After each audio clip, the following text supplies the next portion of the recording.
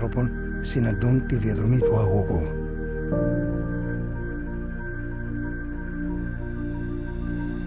Επισκεφτείτε τη σελίδα του ΤΑΠ κάθετος διαδρομές και δείτε τις ιστορίες τους.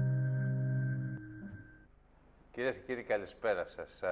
17 Μαου 2018 σήμερα είστε συντονισμένοι στην τηλεόραση επιλογές για να παρακολουθήσουμε μαζί τα σημαντικότερα γεγονότα της ημέρας. Μπορείτε πάντα να μας παρακολουθείτε από όλο τον κόσμο μέσα από το διαδίκτυο στη διεύθυνση επιλογέ.tv. Και να περάσουμε αμέσως στα θέματα της ημέρας. Επιτέλους, παρουσία αρκετών φορέων της Περιφερειακής Ενότητας Σερών πραγματοποιήθηκε το βράδυ της Τετάρτης, 16 Μαου 2018, η πρώτη συνάντηση όλων όσων διαφωνούν με την κατασκευή σταθμού διοδίων στο Στριμονικό.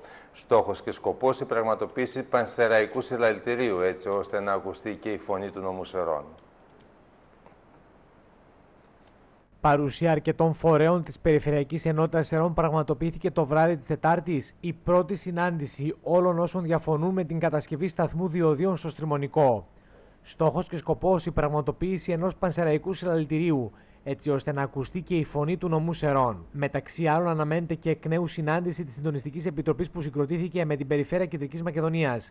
Συνάντηση την οποία θα πραγματοποιήσει ο πρόεδρος του Περιφερειακού Συμβουλίου, Παναγιώτης Πυρόπουλος. Ισχυρή φωνή αντίθετη με την κατασκευή των διοδίων υπήρξε και από το Δήμο Νέας Ζήχνης, όπου ήταν παρόν με δύο αντιδημάρχους. Από την άλλη και ο Δικηγορικός Σύλλογος Ερών με την παρουσία του Προέδρου του Παναγιώτη Καρύπογλου δίνει στήριξη στην όλη κίνηση. Ενώ το Επιμελητήριο Σερών από την πλευρά του, με την παρουσία του Διευθυντή, έδωσε στήριξη και παρουσίασε έγγραφα που αποδείκνυαν από το 2006 ότι ο φορέας επέστησε την προσοχή και τη διαφωνία του στο κράτος. Εντύπωση ωστόσο προκάλεσε η αναφορά του Δημοτικού Συμβούλου της Αντιπολίτευσης στο Δήμο Ηράκλειας, Ευάγγελο Ευαγγέλου, ο οποίος είπε ότι στη διάρκεια της συνεδρίας του Δημοτικού Συμβουλίου Ηράκλειας και σε θέμα προημερήσιας διάταξης, σε ερώτημα αν συμφωνεί η Δημοτική Αρχή με τα διόδια, ο Δήμαρχος απάντησε πως πέντε δήμαρχοι του νομού Σερών συμφωνούν με διόδια, εφόσον αυτά είναι αναλογικά μάθαμε από Δημοτικό Σύμβουλο της Ηράκλειας, ο οποίος μας το κατέθεσε, το οποίο παρόν ήταν 20, 20 άτομα τουλάχιστον, ήταν ε, δήλωση που έγινε στα πρακτικά, ζητάμε τα πρακτικά στο Δημοτικό Συμβούλιο. Να βγει ο κ. Κουτζακιαχίδης και να πει ότι δεν είναι έτσι. Ότι πέντε δήμαρχοι στον νομό Σερών, ελέω Θεό, ούτε ο βασιλιάς τα φτιάχνει αυτά, πήραν απόφαση και λένε Εμείς λέει είμαστε υπέρ του διοδίου με αναλογικό 5 ευρώ πηγινέλα. Και ακόμα και 5 ευρώ. Τι είναι 5 ευρώ, λίγα λεφτά. Είναι 5 ευρώ πηγινέλα κάθε λίγο και λιγάκι. Και, με, και η νομιμοποίηση δεν ξέρω πού προέρχεται. Γιατί πρόκειται για ένα τεράστιο σοβαρό ζήτημα και τους προκαλώ να πάνε να ρωτήσουν τους δημότες τους. Όχι έναν-δύο δικούς τους. Να κάνουν κάλυψη στους δημότες τους. Και να δούμε τι λένε οι δημότες. Στέλνουν διόδια; Γιατί για να πάρεις τέτοια απόφαση έχεις την αίσθηση ότι εσύ είσαι στο απρόβλητο. Ότι και καλά θα του περάσει τώρα τι λένε αυτοί εδώ. Δηλαδή δεν τους ενδιαφέρει ο πολίτης.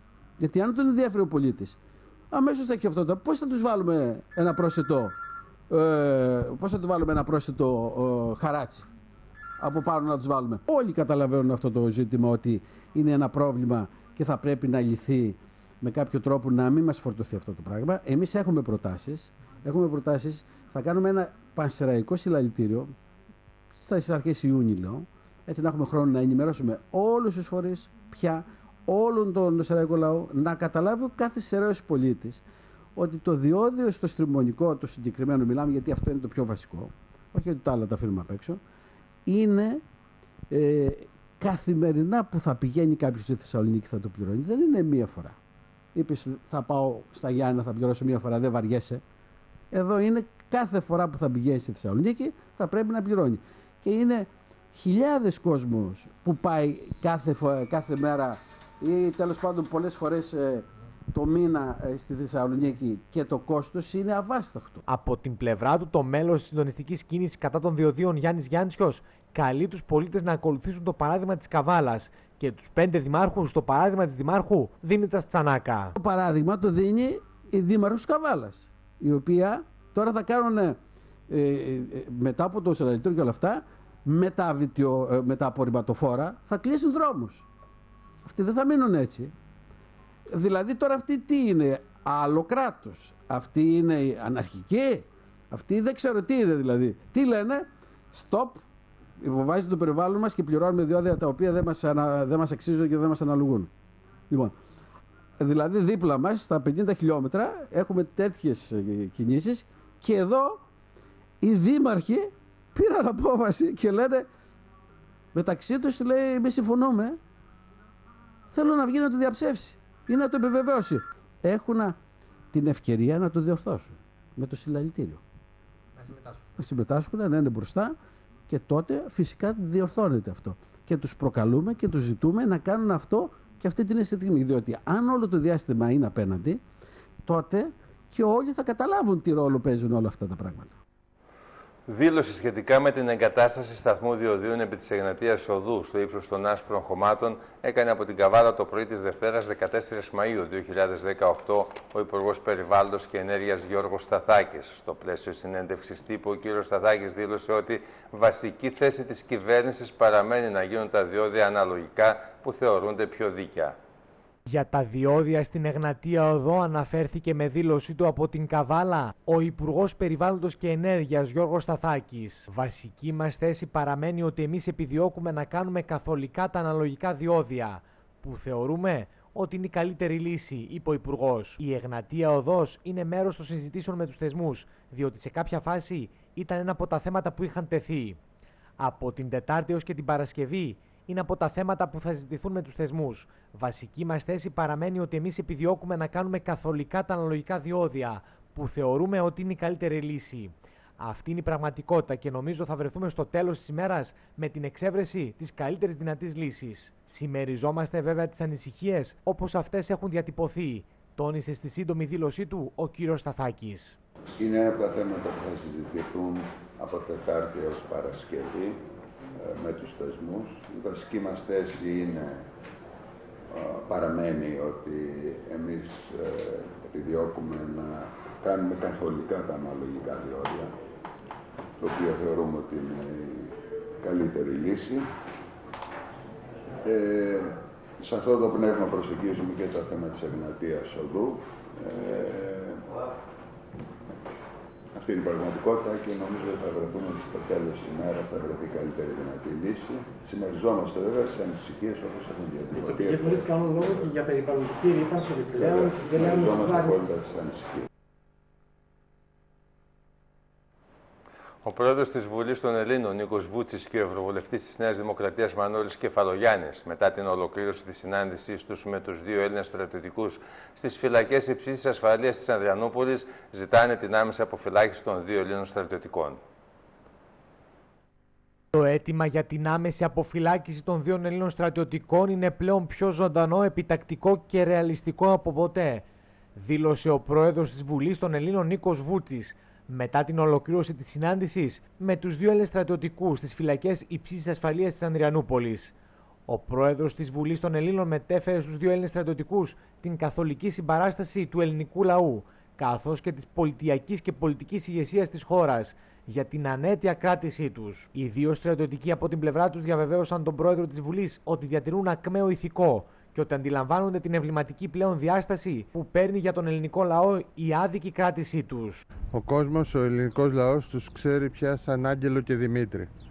Και ήμασταν μαζί τους με δύο νεαρά στελέχη των ενόπλων δυνάμεων για αρκετή ώρα, πριν από μια ώρα στις φυλακές της υψής ασφαλείας όπου ανετίως, κακός, ανεξάρτητα το ότι βρίσκονται σε κάποιες συνθήκες που μπορεί να αντιπεί κανείς βιώσιμες αλλά με στέρηση ελευθερίας δεν υπάρχει βιώσιμη ούτε μια μέρα βρίσκονται οι δύο Έλληνες ε, στρατιωτικοί.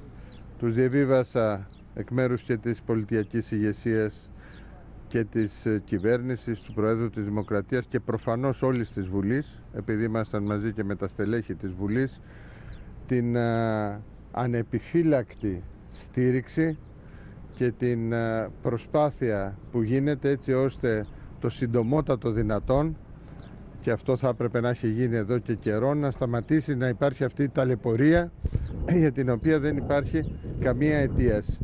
Είμαι, είμαι αισιόδοξος διότι γνωρίζετε ότι δεν υπάρχει καμία αιτία ούτε προσχηματική, δηλαδή δεν υπάρχουν κατηγορίες καν.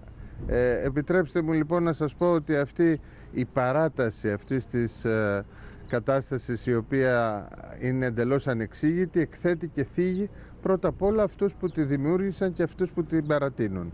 Να, νομίζω πως η αισιοδοξία μας βασίζεται ακριβώς στην κατανόηση και τη συνειδητοποίηση του άτοπου. Λίγες ημέρες πριν ο Ευρωβουλευτής της Νέας Δημοκρατίας Μανώλης Κεφαλογιάννης, συνοδεία του βουλευτή Εύρου της Νέας Δημοκρατίας Τάσου Δημοσχάκη, επισκέφθηκε τους δύο Έλληνες αξιωματικούς στις φυλακές Ανδριανούπολης. Ένιωσα πραγματικά υπερήφανος για την εκπαίδευση, το ήθος και τη δύναμη την οποία έδειξαν αυτά τα παιδιά, που ουσιαστικά στο τέλος μας παρηγόρησαν αντί να τους παρηγορήσουμε εμείς, ανέφερε ο Ευρωβουλευτής. Είδα πραγματικούς αξιωματικούς του ελληνικού στρατού, ανθρώπους με αξιοπρέπεια και ψηλό φρόνημα που διαχειρίζονται με τον καλύτερο δυνατό τρόπο ε, μια προσωπική περιπέτεια, όμως μια περιπέτεια που δίνει μήνυμα σε όλη την νεολαία και στην Ελλάδα και στην Ευρώπη. Τους διαβεβαίωσα ότι ένα έθνος τους σκέφτεται, τους στηρίζει και τους αγαπά. Και μια ολόκληρη Ευρωπαϊκή Ένωση έχει στην ατζέντα των προτεραιοτήτων της το θέμα της κράτησής τους. Ε, θεωρώ επίσης ότι είναι θετικό το μήνυμα ότι οι τουρκικές αρχές έδωσαν την άδεια για να γίνει αυτή η επίσκεψη. Αυτή είναι η αρχή μιας σειράς από προσπάθειες που θα συνεχιστούν στο Ευρωπαϊκό Κοινοβούλιο σε όλα τα επίπεδα. Δεκτέ έκανε τις παρετήσεις του Προέδρου του ΕΛΓΟ Δήμητρα Γιώργου Καρέτσου και του Διευθύνου του Συμβούλου του Οργανισμού Αθανάσιο Βλάχου, ο Υπουργός Αγροτικής Ανάπτυξης και Τροφίμων Βαγγέλης Αποστόλου, όπως δήλωσε κατά τη διάρκεια της συνέντευξης τύπου που έδωσε σήμερα σχετικά με την αγορά του γάλακτος.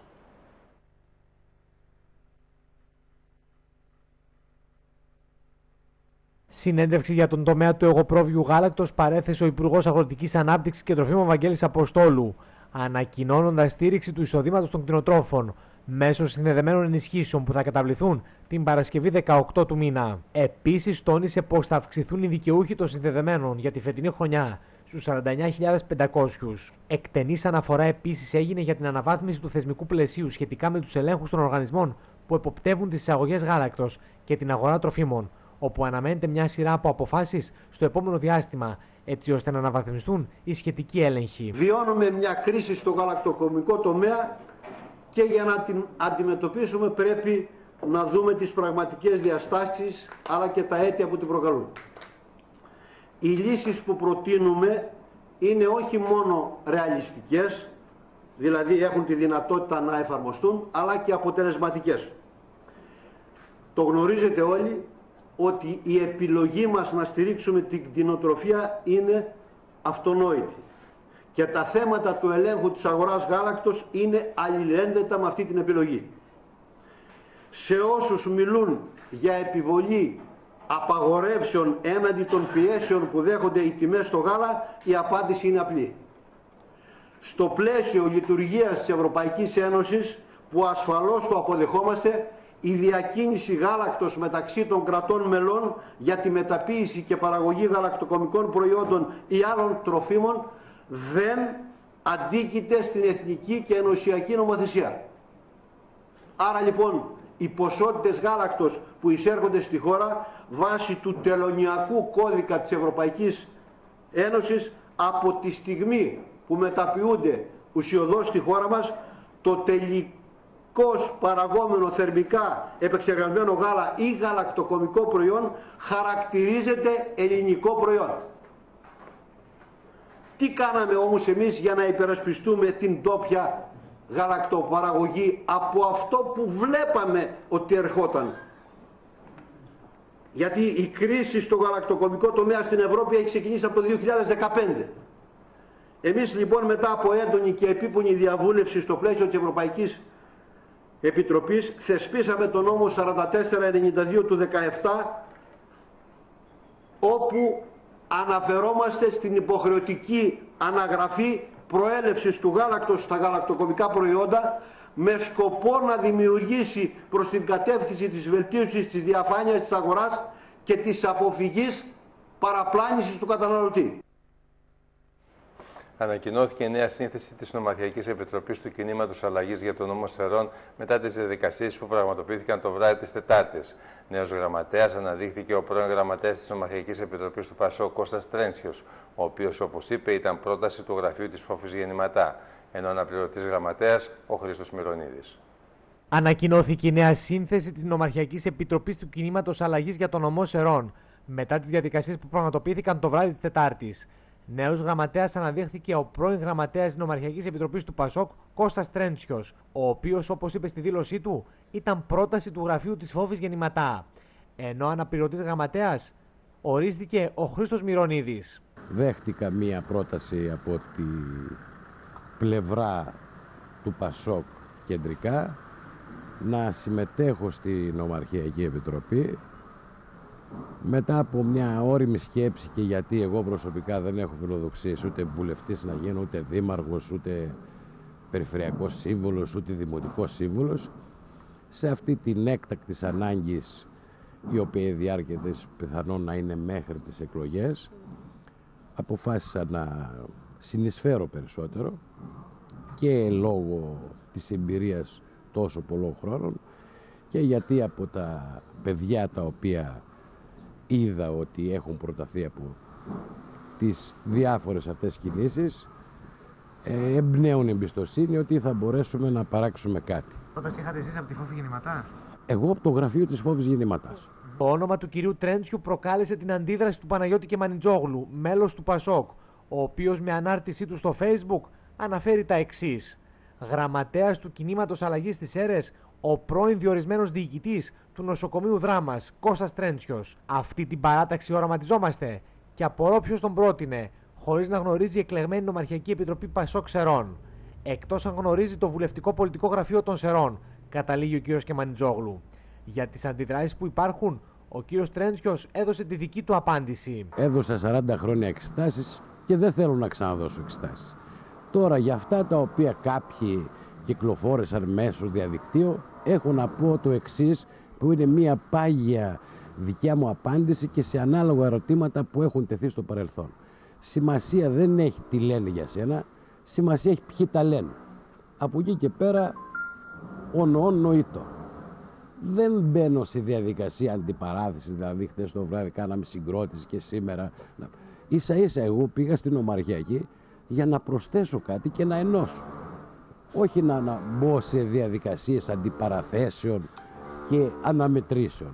Αυτά αν θέλετε είναι και τα καχέπτυπα του παρελθόντος. Τώρα κάποιοι θεωρούν ότι εγώ είμαι παλιό πολιτικό σύστημα.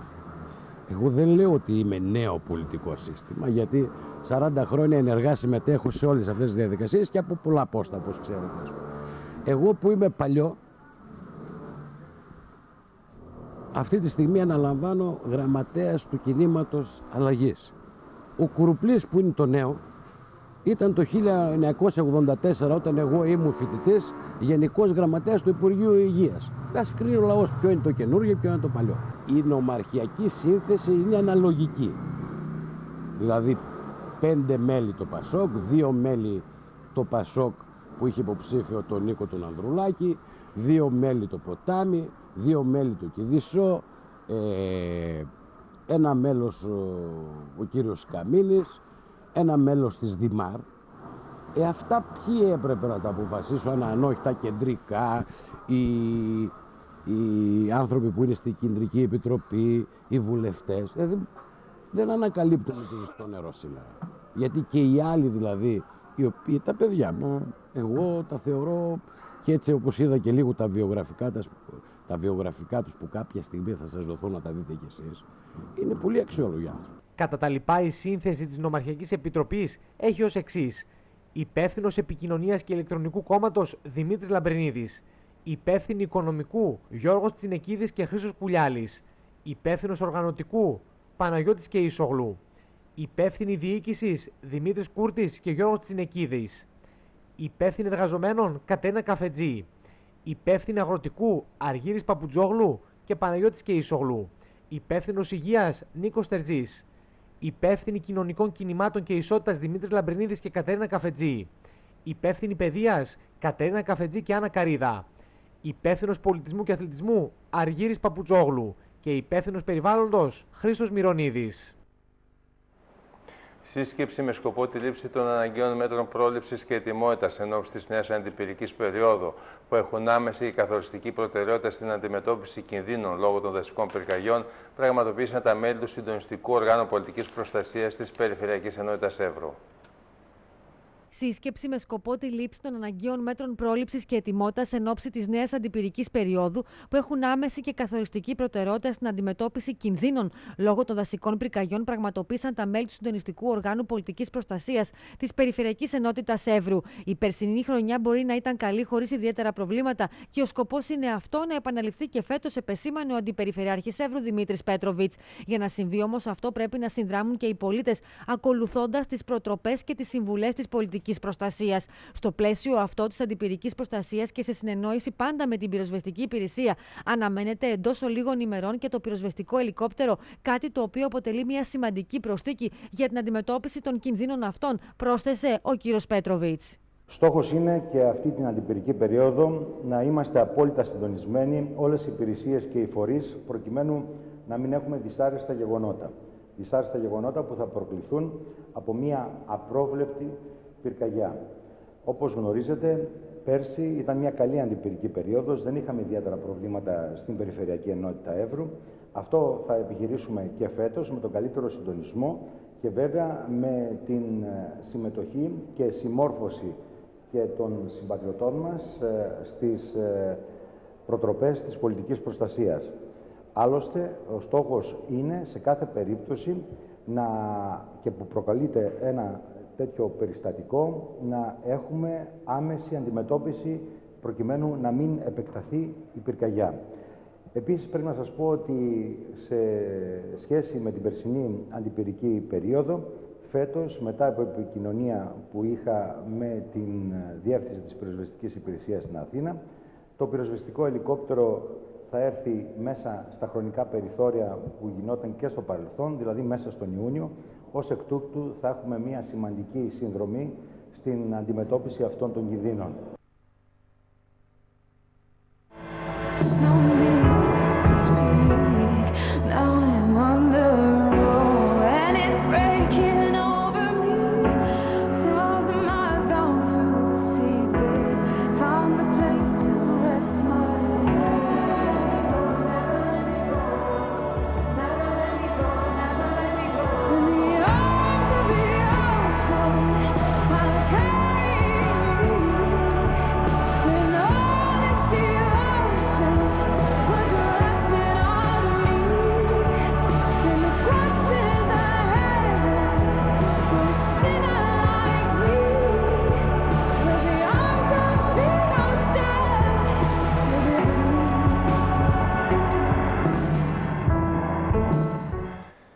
14η συνεχή χρονιά ξεκινάει αύριο Παρασκευή 18 Μαΐου 2018 η Διεθνής Πανεπιστημιάδα Θεάτρος στις Σέρες, ένα εξαιρετικό πολιτιστικό γεγονός το οποίο αποτελεί έναν σπουδαίο θεσμό για τον τόπο και όλη την Ελλάδα. Στην κεντρική σκηνή του Διπεθές Σερών από την Παρασκευή έως και την Κυριακή 27 Μαΐου 2018, θεατρικές ομάδες φοιτητών από την Ελλάδα και το εξωτερικό θα παρουσιάσουν τις θεατρικές δημιουργίες τους. Για 14η συνεχή χρονιά ανοίγει τις πύλες στην Παρασκευή 18 Μαΐου η Διεθνής Πανεπιστημιάδα στις ΣΕΡΕΣ.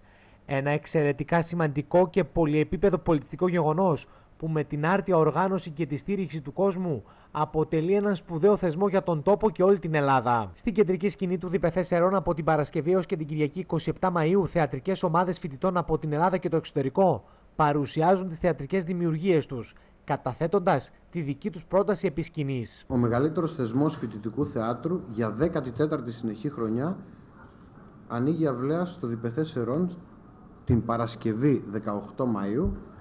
Ε, είμαστε πολύ χαρούμενοι γιατί η πολιτική μας στόχευση είναι να έχουμε ανοιχτεί την πόρτα μας στους νέους και αυτές τις μέρες, τις 10 μέρες θα περάσουν 165 φοιτητές από όλη την Ελλάδα και το εξωτερικό στην έναρξη την Παρασκευή θα νομίζω ότι φέτος η Πανεπιστημιάδα παίρνει τη μεγαλοπρέπεια που της αξίζει Μα σε αυτό μας βοηθάει το Μουσικό Σχολείο Σερών το οποίο θα παίξει μουσική και η σχολή χορού της Κεδής που θα έχουμε χορευτικό. Επίσης θα υπάρχει θέατρο δρόμου, διάφορα δρόμενα. Το μεγαλύτερο φεστιβάλ της ακαδημαϊκής κοινότητας ξεκινάει την Παρασκευή 18 του μηνός στις Σέρες και διαρκεί μέχρι τις 27 Μαΐου.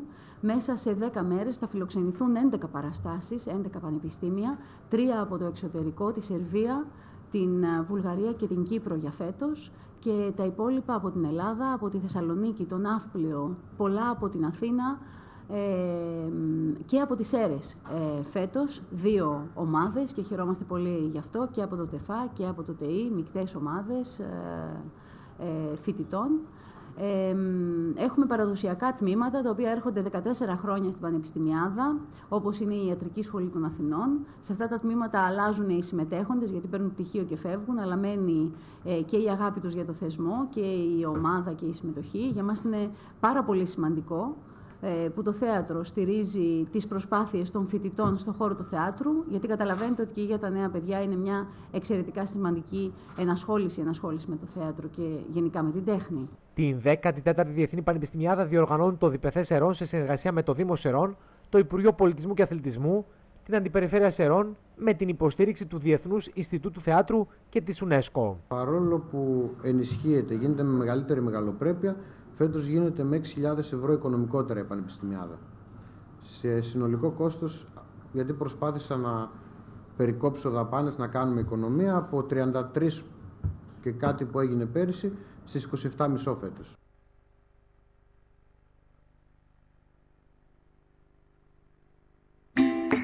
Σούπερ Μάρκετ Κάντζας. Κάθε μέρα κοντά σας με εκπληκτικές προσφορές. Πέψη 1,5 λίτρου, μία συν μία δώρο. Πάριζα το διαλεγμένο, το κιλό, μόνο 4,25. Σάλτσα Barilla με βασιλικό 400 γραμμαρίων με 1,69. Γκούντα Ολλανδίας Light, το διαλεγμένο με 6,60 το κιλό. Skip κουτί 45 μεζούρες με 7,40. Αλλά και χαρτί υγείας Tender τρίφυλλο, τα 20 ρολά με 4,50. Σούπερ Μάρκετ Κάντζα Ψωνίζουμε, κερδίζουμε. Ξανά κοντά σας, το κατάστημά μας στην παραλία Κάριανης.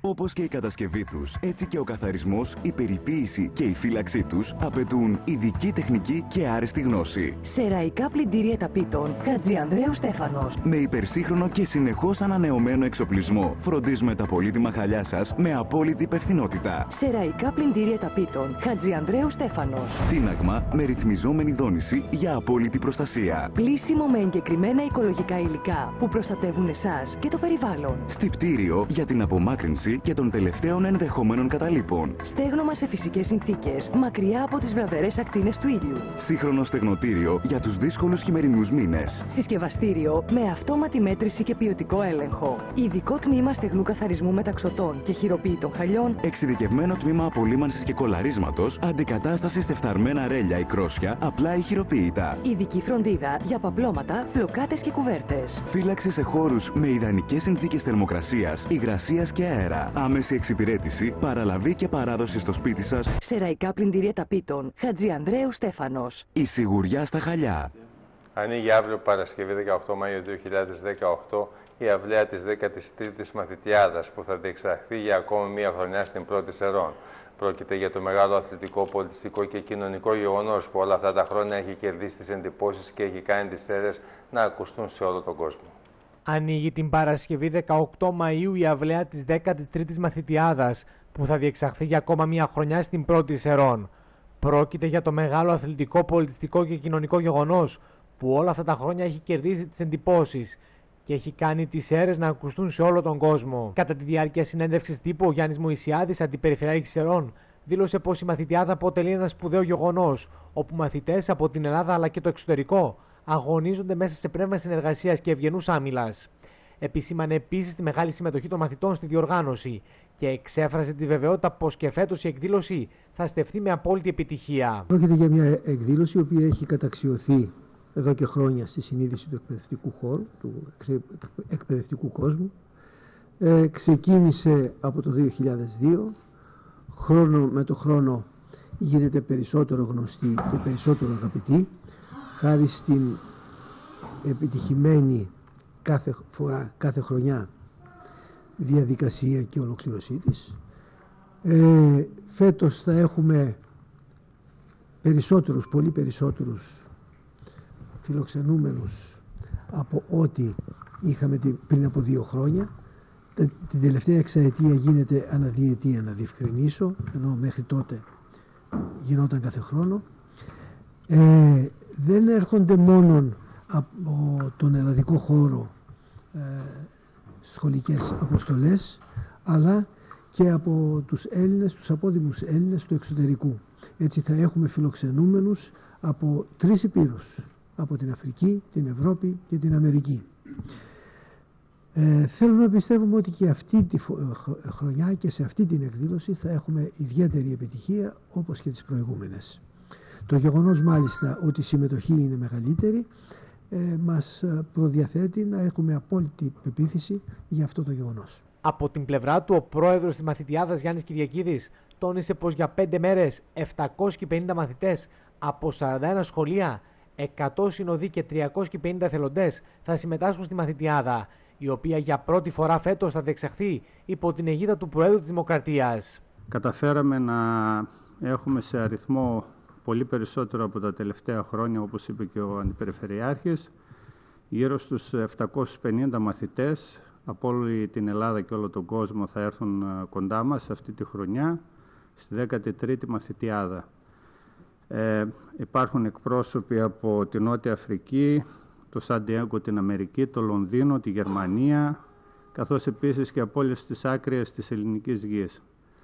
Ε, θα φιλοξενήσουμε επίσης γύρω στους 100 συνοδούς των παιδιών που θα έρθουν από τα διάφορα σχολεία και επίσης θα έχουμε έναν αριθμό περίπου 350 εθελοντών οι οποίοι θα ενισχύσουν και στην ουσία θα τρέξουν όλο αυτό το πρόγραμμα. 41 σχολεία θα είναι μαζί μας φέτος. Ότι φέτος για πρώτη φορά έχουμε την αιγίδα του Προέδρου της Δημοκρατίας σε αυτή την εκδήλωση, τη μεγάλη εκδήλωση, αναγνωρίστηκε επιτέλους και θα ήθελα να πω ότι είναι επίσης πάρα πολύ μεγάλη η χαρά μας γιατί καταφέραμε μέσα σε αυτούς τους δύσκολους καιρούς, σε μια περίοδο οικονομικής κρίσης, για άλλη μια χρονιά να φέρουμε σε πέρας αυτή τη μεγάλη εκδήλωση που αφορά τους μαθητές τόσο από την Ελλάδα όσο και από όλο τον κόσμο. Παρουσιαστής θα είναι για ακόμα μια χρονιά ο Αλέξης Κοστάλας, ο οποίος επισήμανε την αγάπη και το μεράκι των διοργανωτών και εξέφρασε τη χαρά του που όλα αυτά τα χρόνια αποτελεί και ο ίδιος αναπόσπαστο κομμάτι της μαθητιάδας. Είμαι βέβαιος ότι θα είναι πάλι άρτια και με ποιότητα, με ήθος και με ζωντάνια συμμετοχής. Το πιο σημαντικό στοιχείο για μένα είναι η συμμετοχή των παιδιών και το ότι σε δύσκολους καιρούς γίνονται, συνεχίζουν να γίνονται τέτοιες προσπάθειες οι οποίες μάλιστα έχουν πάρει και πιο μεγάλο χαρακτήρα, έχουν απλωθεί τώρα σε όλη την Ελλάδα. Αυτό είναι μια τεράστια επιτυχία και οφείλεται κατά κύριο λόγο σε αυτή την ομάδα των ανθρώπων οι οποίοι εργάζονται ακούραστα από το ξεκίνημα της ιδέας. Η τελετή έναρξης τη εκδήλωσης θα πραγματοποιηθεί την Παρασκευή στις 8 το βράδυ στο Δημοτικό Αθλητικό Κέντρο Πρώτης. Και από την επόμενη ημέρα έως τις 22 Μαου θα διεξάγονται τα Ολυμπιακά αγωνίσματα. Εκτός όμως από το αγωνιστικό κομμάτι θα υπάρχουν όπως κάθε φορά και παράλληλες πολιτικές δράσεις. Κατά τη διεξαγωγή μάλλον των αθλητικών δράσεων στην Μαθητιάδα, ε, λειτουργεί το πολιτιστικό πάρκο ε, στον ίδιο χώρο, μπαίνοντας αριστερά. Οι δράσεις είναι εκθέσεις, ε, διαλέξεις, όπως προανέφερε ο κύριος Κυριακίδης. Ε, θα υπάρχουν διάφοροι φορείς οι οποίοι θα παρουσιάσουν τις δράσεις τους, θα υπάρχουν, ε, όπως σας είπα, εκθέσεις, θα υπάρχουν διάφορα εργαστήρια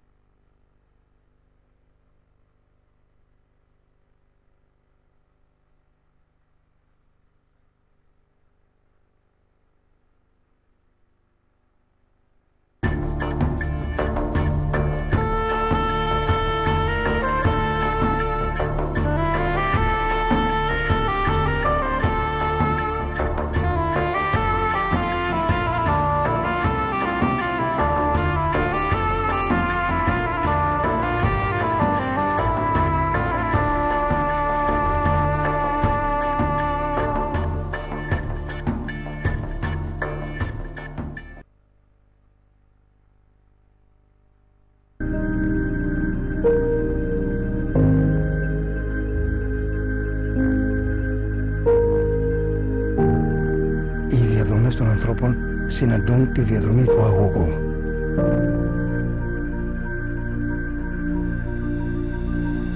Επισκεφτείτε τη σελίδα του TAP κάθετος διαδρομές και δείτε τις ιστορίες τους.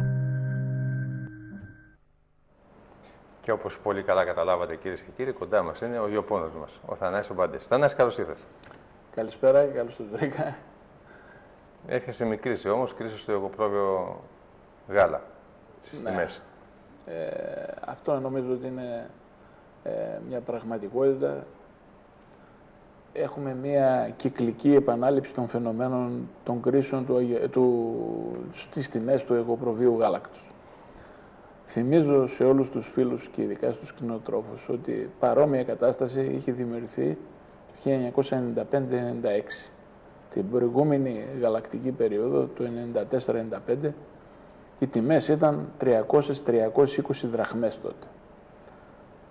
Την αμέσως επόμενη χρονιά, το 95-96, λόγω αθρώας εισαγωγής ε, τυριών σε άλμη, έπεσαν οι τιμές και έπεσαν σε επίπεδα από 180 μέχρι 200 δραχμές. Από τις 300-320 πήγαμε 180-200 δραχμές. Τότε, όπως και την επόμενη φορά που δημιουργήθηκε η κρίση, η λύση δόθηκε από την ε, δωρεάν διανομή φέτας, οπότε είχαν ξεστοκάρει όλα τα ελληνικά τυροκομεία 2 εκατομμυρίων 100.000 κιλών, 2.100 τόνοι φέτας διανεμήθηκαν στις κοινωνικά ευαίσθητες ομάδες, απόρους, πολίτεκνους κτλ. Αυτή η κυκλική επανάληψη του φαινομένου έγινε μετά από ε, 11 χρόνια περίπου, το 2006-2007. Τότε είχαμε διπλό κακό. Απ' τη μια είχαμε μία μείωση στο εγωπρόβιο γάλα της τάξης του 17-18% και συγχρόνως είχαμε μια θεαματική αύξηση της τιμής των ζωοτροφών περίπου στο 25%. Ήταν η χρονιά που δόθηκαν και εντεμίνιμες ενισχύσεις. Άρα αυτό εδώ επαναλαμβάνεται. Τώρα, η φετινή συγκυρία οφείλεται, είναι πολυεπίπεδη, πολυδιάστατη. Σαφέστατα έχουμε εισαγωγές ε, εγωπροϊβίου γάλακτος. Έχουμε όμως μείωση και της εγχώριας κατανάλωσης. Γι' αυτό όλα τα α, α, τυροκομεία είναι στοκαρισμένα. Αρκεί να δείτε τα δοχεία που κυκλοφορούν αυτή τη στιγμή της φέτας θα δείτε ότι είναι παραγωγή Ιουλίου-Αυγούστου του 17. Όταν λοιπόν έχουμε ένα στοκαρισμένο προϊόν, αυτό δημιουργεί ε, μία πίεση στις τιμές. Συγχρόνως όμως έχουμε και μία αύξηση της κατανάλωσης των αγελαδινών τυριών.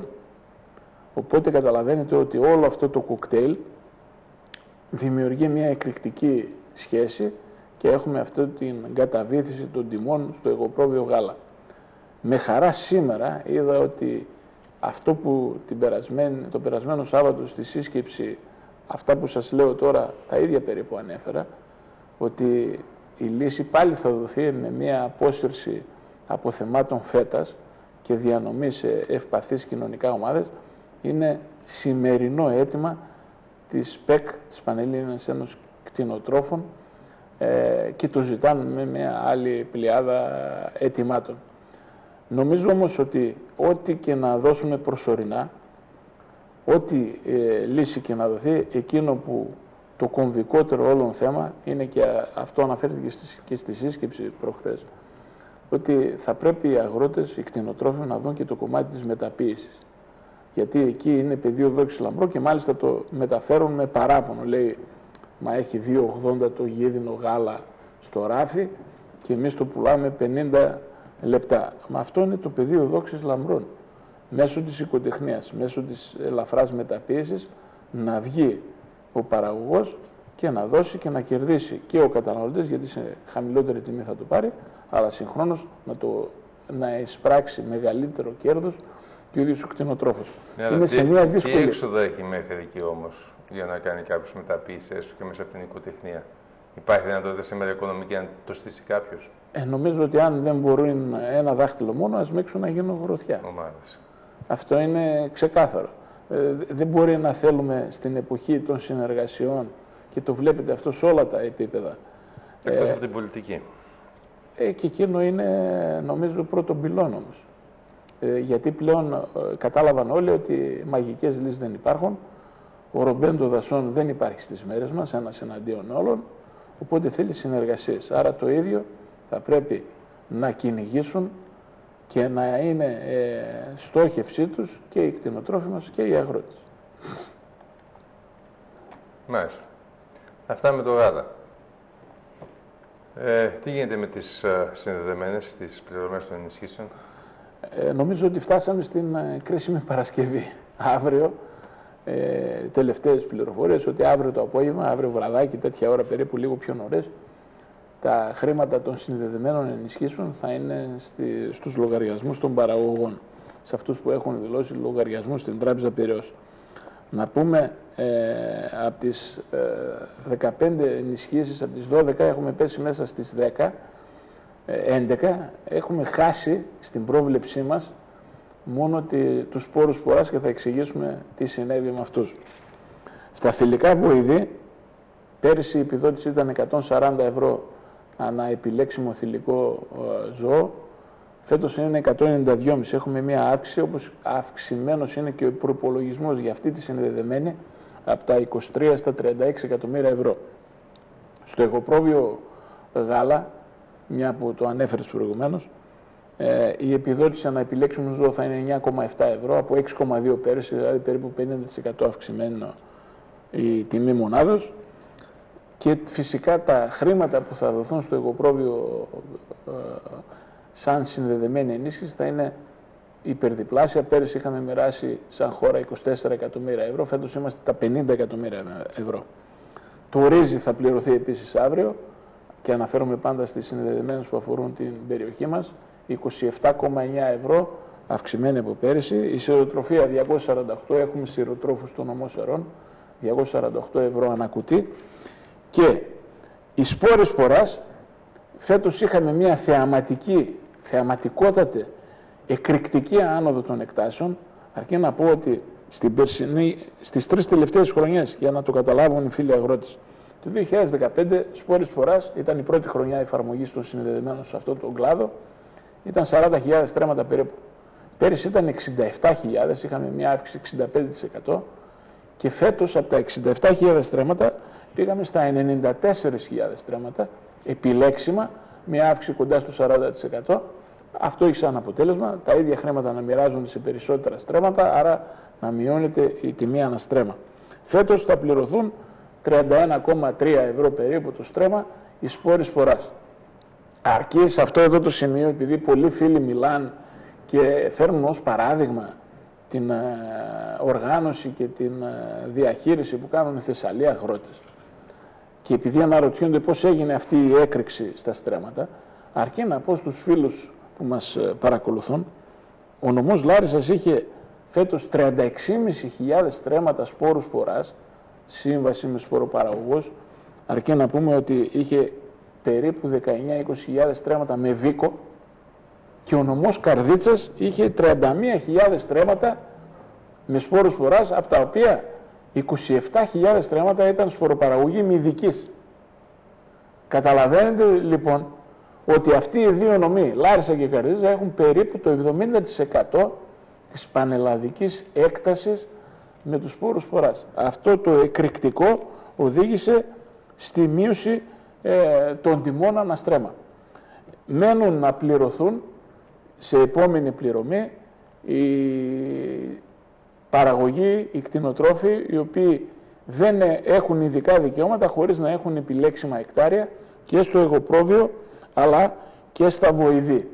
Αυτό θα γίνει σε επόμενο χρόνο και νομίζω ότι αύριο το απόγευμα θα βρίσκονται στους λογαριασμούς. Όσοι έχουν τις πυραιώσεις, όσοι έχουν λογαριασμούς σε άλλες τράπεζες, πάμε από εβδομάδα, θέλει δύο-τρεις μέρες βαλέρ. Μάλιστα, τηλεφωνούν από τον Εύρο και ρωτάνε τι θα γίνει με το υπόλοιπο των αποζημιώσεων του ΕΛΓΑ ε, έχει διαφοροποιηθεί και στη σωστή κατεύθυνση θα έλεγα είναι η τακτική που πληρώνει ο ΕΛΓΑ. Ο ΕΛΓΑ πληρώνει σε πρώτη φάση το 70% των αποζημιώσεων που ε, βγαίνει βάσει του πορίσματος σε κάθε αγρότη και σε, επόμενο, σε επόμενη φάση γίνεται η εκταμείευση του υπόλοιπου 30%.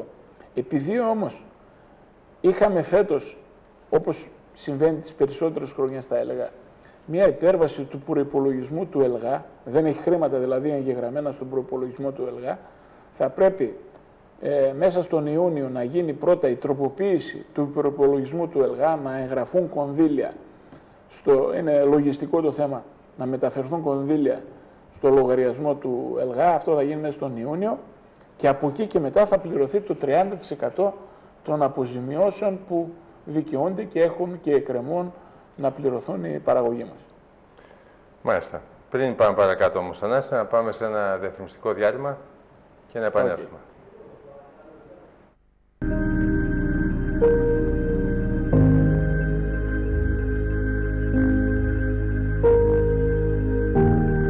Οι διαδρομές των ανθρώπων συναντούν τη διαδρομή του αγωγού.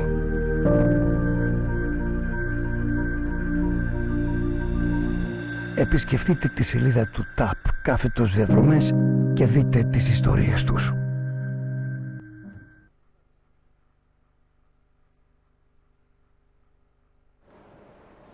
Να μας πάει λοιπόν Θανάση, να δούμε τι γίνεται με την νέα ΚΑΠ.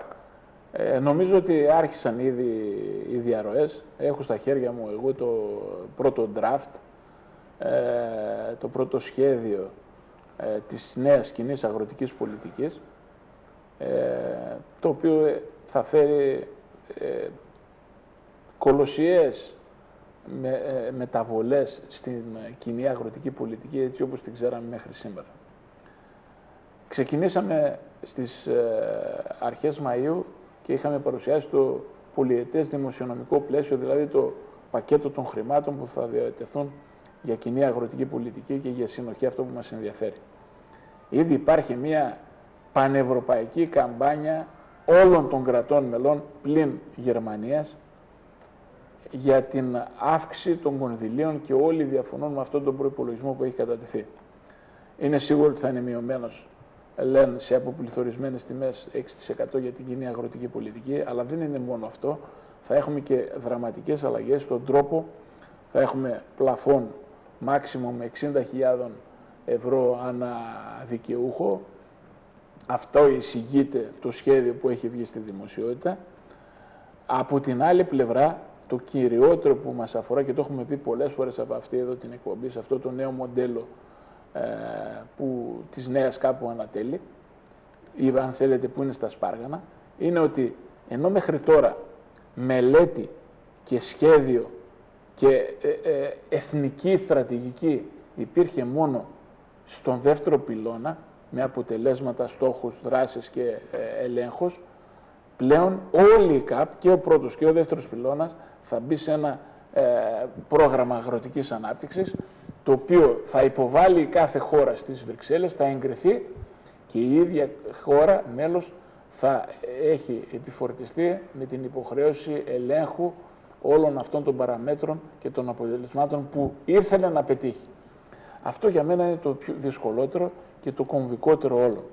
Αυτή τη στιγμή όμως όλη την Ευρώπη γίνεται πραγματικά μια, υπάρχει μια αναστάτωση. Είτε για την συνοχή, δηλαδή για τα ΕΣΠΑ, Υπάρχουν πολλές φωνές διαμαρτυρίας ότι πρέπει να πάμε, άλλοι λένε κατά κεφαλή ε, ΑΕΠ, άλλοι πρέπει να πάμε ανάλογα με την έκταση, με τις πυκνότητες, με τις διαρθρώσεις, με τις διάφορες ε, οικονομικές εκφάνσεις που υπάρχουν σε κάθε χώρα. Καλή ώρα, ας πούμε, η Ελλάδα έχει πολλών ειδών γεωργία. Έχει την Ισιώτικη, έχει την Επιρωτική, έχει την Ορεινή, έχει τις μεγάλες καλλιέργειες, έχει την εντάσσεως εργασίας, καπνά, άρα έχουμε μια πολυδιάστατη αγροτική πολιτική. Αυτή τη στιγμή σε όλη την Ευρωπαϊκή Ένωση έχουμε την ανακατοσούρα στην Ιταλία. Εδώ αυτή τη στιγμή τα κείμενα που έχουν βγει από ότι η Λέγκα με τα πέντε αστέρια στην Ιταλία ε, συζητούν, μιλάνε για έξοδο και για διέλυση της Ευρωπαϊκής Ένωσης. Αν αυτά που στην αρχή πιστεύαμε ότι θα ήταν η ποιότερα. Μα αυτοί βγήκαν ακόμη πιο ακραία. Άρα υπάρχει μία μεγάλη ζήμωση. Μέχρι όμως πιστεύω Γιατί ε, τα draft που έχουν, τα σχέδια που έχουν βγει της νέας κοινής αγροτικής πολιτικής, Θανάση και φίλοι αγρότες, εκείνα που απουσιάζουν, ενώ η δομή, η μορφή, οι διαδικασίες είναι αποτυπωμένες και τις παρουσιάσουμε σε επόμενη εκπομπή, τη νέα ΚΑΠ, πριν αυτή ανακοινωθεί στις αρχές ε, Ιουνίου, εκείνο που λείπει, που απουσιάζει από το σχέδιο, είναι τα νούμερα. Γιατί γίνεται πραγματικά ένα ατέλειωτο παζάρι και η Ελλάδα προσπαθεί να χτίσει συμμαχίες βάζοντας όχι μόνο το κομμάτι το πόσα χρήματα παίρνει κάθε χώρα ή πόσα λεφτά παίρνει κάθε χώρα να στρέμα, αλλά τι χρήματα έρχονται αναγεωργική εκμετάλλευση. Και εκεί, να ξέρετε, η χώρα σωστά το βάζει, είναι από αυτές που παίρνουν λιγότερα αναγεωργική εκμετάλλευση. Αναγεωργική εκμετάλλευση στην Ελλάδα, τα χρήματα που παίρνει ένας αγρότης είναι κοντά στα 3.000 ευρώ. Είναι ένα ποσό το οποίο είναι επίοικος μικρό, που δεν ε, συγκρίνεται με τα μεγέθη των ποσών που εισπράττουν οι γεωργικές εκμεταλλεύσεις στις βόρειες χώρες ή αν θέλετε στις νέες χώρες, Βουλγαρίες, Ρουμανίες κτλ. Άρα περιμένουμε το επίσημο ή αν θέλετε κάποια διαρροή που θα έχουμε, ξέρετε ότι παρακολουθώ από πολύ κοντά αυτά τα θέματα, δεν υπάρχει περίπτωση να μας ξεφύγει κάτι σε αυτό, αλλά οι αρχές Ιούνιου είναι να βγει το επίσημο, η πρόταση της Ευρωπαϊκής Ένωσης με τους χρηματοδοτικούς πίνακες, με τα λεφτά, με όλη τη διαδικασία που εκεί πιστεύω ότι θα έχουμε κάποιες βελτιώσεις γιατί υπάρχει αυτή η πανευρωπαϊκή καμπάνια εναντίον αυτών εδώ που είχαν ανακοινωθεί. Μάλιστα, δεχόμαστε πολλά τηλεφωνήματα σχετικά με τη ΦΕΤΑ. Γνωρίζεις κάτι, τι γίνεται με τη ΦΕΤΑ. Η ΦΕΤΑ είναι ένα, όχι απλώς γνωρίζω, ε, έχω τη χαρά, την τιμή, την ε, απερίγραπτα είναι τα αισθήματά μου, γιατί Θανάση το 1999 εγώ ήμουν μέλος της κινηματικής πανεθνικής πρωτοβουλίας για την τότε κατοχήρωση της ΦΕΤΑς. Ήμασταν 9 ε, άνθρωποι, 11 άνθρωποι σε όλη τη χώρα που είχαμε κάνει καμπάνια για τότε να κατοχυρωθεί η ΦΕΤΑ ως προϊόν pop. Παρά τις προσφυγές Μεγάλης Βρετανίας, Δανίας, τα καταφέραμε, βγήκε ο κανονισμός, άρα είναι ένα προϊόν διαμάντι, ένα ε, προϊόν που μπορεί να στηρίξει το εισόδημα και την ε, συνοχή στην περιφέρεια, αλλά ο νομός Σερών, και το έχω πει πάμπολες φορές, έχει έναν πλούτο. Έχει τον πλούτο να μπορεί να παραγάγει τέσσερα ποπ προϊόντα, και φέτα και μπάτζο και μανούρι και κασέρι.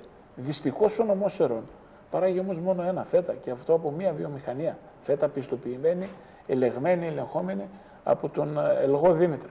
Άρα έχουμε πεδίο δόξης λαμπρό να ενεργοποιηθούν οι κτηνοτρόφοι, να πάρουν μπρος νέες επιχειρηματικές πρωτοβουλίες για να βγουν αυτά τα προϊόντα που θα στηρίξουν και τους παραγωγούς αλλά και το, όλη την αλυσίδα γιατί θα χρειαστούν χέρια εργατικά, θα χρειαστούν θέσεις εργασίας, θα γεννηθούν θέσεις εργασίας. Άρα είναι προς όφελος του νομού και της περιοχής να αξιοποιήσει αυτό το πλούτο. Άρα λοιπόν εμπρός για τη ροκομεία. Οποιαδήποτε μορφή μεταπίεσης, πόσο δε όταν μιλάμε για τέσσερα τυριά pop που έχει ο νομός και αναφέρομαι στο νομό Σερών και παράγει μόνο ένα, καταλαβαίνετε ότι κασέρι Σερών υπάρχει, όχι. Μανούρι Σερών υπάρχει, όχι. Μπάτζο Σερών υπάρχει, όχι. Μπορεί να τα παράγει ο νομός. Ας τα παράγει λοιπόν. Ελπίζω κάποιοι να μας ακούν και να πάρουν το μήνυμα και να το προσπαθήσουν. Και όποιος χρειαστεί, είμαι στη διάθεσή του πραγματικά σε αυτή την προσπάθεια να στηρίξουμε τα pop προϊόντα γιατί πολλοί διαμαρτύρονται τι κάνουν για μας. Ορίστε, τέσσερα πόπ έχουμε, η Ευρωπαϊκή Ένωση τα αναγνωρίζει. Έχεις μια τεράστια ευρωπαϊκή αγορά που μπορείς να τα διαθέτεις και εκεί το προϊόν είναι προστατευόμενο. Χθες στη συνέντευξη τύπου που έδειξες, ετοιμάζεται να κατατεθεί. Το περιμένω και εγώ να το δω ο φάκελος για το pop ελληνικό γιαούρτι. Άρα έχουμε πεδίο δόξης λαμπρό, έχουμε την ευκαιρία, έχουμε το γάλα, έχουμε τις φυλές μας, έχουμε τους κτηνοτρόφους μας, Πρέπει να το κάνουμε. Πολύ ωραία. Θανάση, να σε ευχαριστήσουμε. Αν έχεις κάτι άλλο να προσθέσεις. Νομίζω ότι περιμένω στις ε, αρχές Ιουνίου τα, την πρόταση της Ευρωπαϊκής Ένωσης για την κοινή αγροτική πολιτική. Μέχρι τότε όμως πιστεύω ότι και την ερχόμενη εβδομάδα θα είμαστε θέση να παρουσιάσουμε κάποια κομμάτια ε, πιο εμπεριστατωμένα και πιο λεπτομερώς. Σα ευχαριστούμε για την ενημέρωση. Και εγώ ευχαριστώ. Καλό βράδυ. Καλό βράδυ.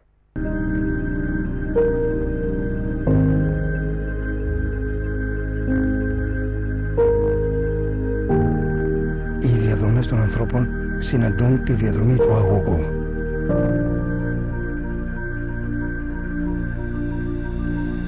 Επισκεφτείτε τη σελίδα του TAP κάθετος διαδρομές και δείτε τις ιστορίες τους.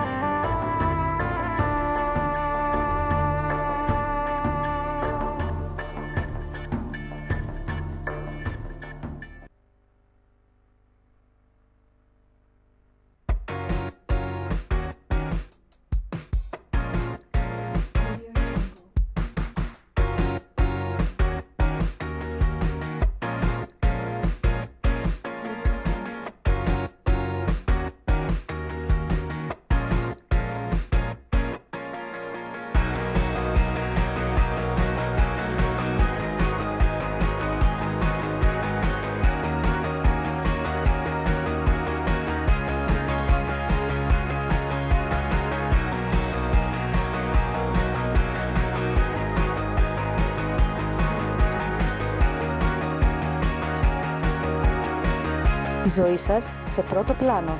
Πλάνο στούντιο. Εθνικής Αντίστασης 13. Αυτές κυρίες και κύριοι ήταν σημαντικότερες ειδήσεις τη τηλεόρασης επιλογές για σήμερα. Αγαπητοί τηλεθεατές, από όλους εμάς, καλό βράδυ.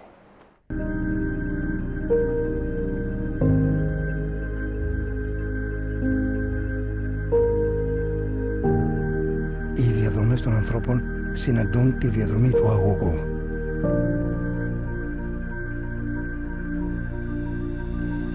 Επισκεφτείτε τη σελίδα του TAP κάθετος διαδρομές και δείτε τις ιστορίες τους.